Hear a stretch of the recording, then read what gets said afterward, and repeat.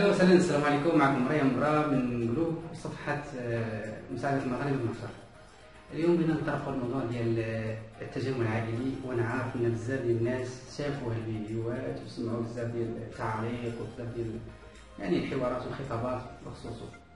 آه، كاين اللي يهضر من جهة القانون كاين اللي من جهة ديال التجربة كمهاجر. ولكن اليوم بدنا يعني نوضحوا بعض الأمور باش تعرفوا شنو هو فعلا المعنى ديال التجمع العائلي. مبدئيا التجمع العائلي آه، تبع واحد الوظيفه اللي هي 557 آه، تبع سنة 2011 هو كيكون يعني هو بيان رسمي آه، ملكي كيف يرمي الملك وهو قرار كياخذوه الوزراء يعني مجلس الوزراء كيدير واحد اقتراح أو واحد الحق والقانون من بعد كيطبق يعني إلا الا نجح كان عنده واحد الاغلبيه فكيطبق الحق اللي تعطى المهاجر في هذه اللحظة هذه هو إنه ممكن يطلع ذويه يعني عائلة من العائله نقدروا نلقاو يعني يا إما الآباء يا إما الزوجات ولا الأزواج أو لا الابناء من الوليدات. هذه من جهة. آه، جهة أخرى يعني هذه النورماتيفه اللي قلنا عليها 5 7 كنقول مبدئيا إن الناس اللي خذوا الوراق أول مرة اللي ما يقدروش يطلعوا ذويهم يعني العائله ديالهم على سبب واحد لأنه ما عندهمش واحد الماضي أو تاريخ مهني قبل باش نضمنوا إن كاين واحد الاستمرارية ديال المدخول الشهري عملي مهني إلى آخره. لهذا الإنسان ضروري يتوجب عليه كنقطه مهمة أنه ماشي غير ياخذ الاوراق يوم ديال التجمع. خص دوز على الأقل السنة ويجدد الأوراق على الساعة يقدر آه، يعني يدير التجمع العائلي للزوجة ولا للأبناء ولا للوالدين. رغم أن كل واحد عنده واحد الشروط اللي كتكيف على حسب آه، الحالة الأسرية أو المهنية. هذه من جهه إحنا ملي كنهضروا على التجمع العائلي خصنا نذكروا ثلاث نقاط مهمين اولا خاصنا نشوفوا شكون غنطلعوا ثانيا خاصنا نشوفوا السكن والمأوى.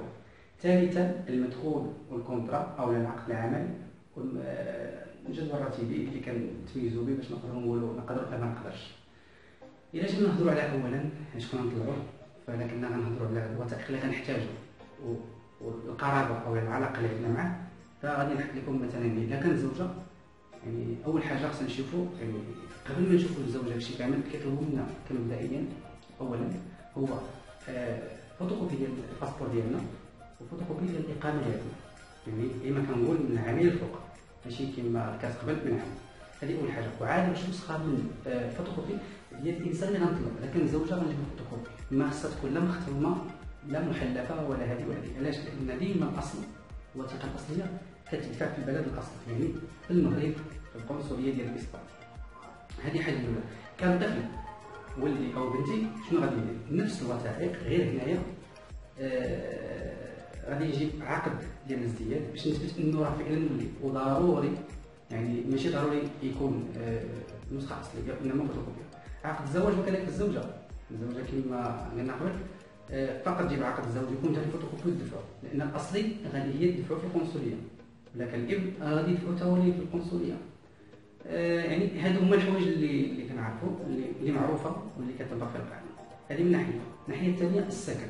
إحنا ملي كنهضروا على السكن ماشي غنجيبوا الكونتر ديال الدار وغندفعوا بالتفعيل إنما كنجيبوا عقد ديال الايجار مع الوثائق اللي كتحمل آه يعني واش الدار ديالي ولا ماشي ديالي. اذا كانت ملكيه هذيك حاجة أخرى كانت ديالي يعني كاريه فقط كان كراء فهنا كنمشي في توجه الخدمة الاجتماعية. كاين الحالتين تكون ملكك ولا ماشي ملكك ضروري تمشي عند الشؤون الاجتماعية. كاين خدمات كتطرق لها هذه المؤسسة هذه هي تابعة للبلدية غير تقدر تلقاها داخل البلدية أو تقدر تلقاها منعزلة عن البلديه ولكن نفس الخدمة وكتبعد هنايا على حسب كل communauté كتختلف. كاين اللي غيطلب لك تكون في المدينة ماشي في الدار. الدار كلها اسباني كتعرف ان أي واحد كرا الدار خاص minimum تكون عنده ثلاث شهور هذه الدار ولكن كنهضروا على ال municipio فهنا كيبقى القرار على حساب واحد السلطة ديال ال alcalde اللي كيطبق تمايا ويقدر يطلب منك نهار تكون ساكن في ال municipio أو لا ست شهور أو لا عام أو لا المده اللي هما كيقترحوا. والطريقة هذه طبقت مؤخرا إن كاين واحد العدد كبير ديال المغاربة كانوا كي يعني كيمارسوا هذه القضية ديال نقضي شغلي بالدار مطلقة لأنه هو ما يقدرش مثلا يقدر يخلص واحد 400 ولا 300 ولا 500 اورو في الشهر فهو كيقلب غير باش يدير التجمع. لهذا طبق القانون هذا باش كل واحد يحترم المسطرة ويؤديها على أحسن وجه. من بعد سيدي ملي كنجيو حنا التقرير اللي هما كيديروا واحد الزيارة ويقدروا ما يديروهاش هاد اللجنه يعني ممكن يديرها تقدر ما بعد ما كيطلعوا بالدار كيشوفوا أن فعلا فيها كاع المواصفات وأن هي يعني كتقضي يعني صالحة. كتعطي واحد التقرير إن فيها فعلا الكفاءات أو لا. الشروط اللي كيطالب من بعد كناخذ هذاك الملف هذاك الملف اللي كيعطينا هو التقرير السكني هو اللي حنا محتاجين.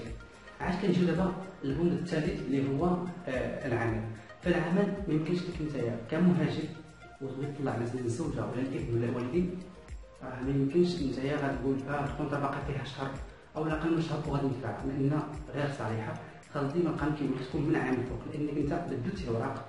ما بقاش عندك الاوراق ديال العام ولا عندك الاوراق ديال العامين إذا ما عندك عامين من فجي contrat اللي يكون فيها آه، من عام الفوق وهذه اللي صح هي normalement من عام راها كافية. أو لا تكون عندها indéfini يعني غير محدودة آه، المدى. فأنت ملي كتدفعها ديك الساعة كيبقى لك آه، تجيب اللومينات ديالك اللي هما جداول الرواتب المدخول الشهري كتدخل ولا كتلبس سته في القانون كتلبس سته حسبه ديال الابرام أو الجدول الراتبي ديال النومينا أنا غندير فيديو إن شاء الله اخر وغادي نوريكم طريقة الحساب.